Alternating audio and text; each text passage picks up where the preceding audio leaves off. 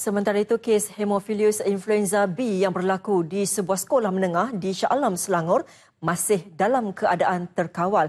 Pada minggu lalu, seorang pelajar tingkatan 2 di sekolah tersebut disahkan dijangkiti virus berkenaan oleh Jabatan Kesihatan Negeri Selangor dan setakat ini hanya kes tersebut dikesan dan ia disahkan bukan wabak.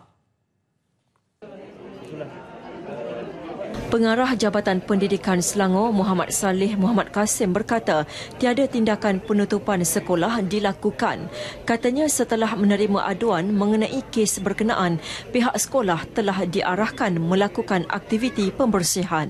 Bila kes itu uh, uh, disahkan, maka pihak sekolah, pihak PPD, pihak jabatan akan seperti, seperti biasa uh, melakukan tindakan-tindakan yang sewajarnya lah mengikut perkeliling yang sedia ada.